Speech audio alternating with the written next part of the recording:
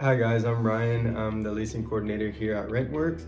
I will be answering all of your leasing questions, whether it's regarding your application, what we need to get you processed and all that good stuff. I'm gonna be taking care of the applications.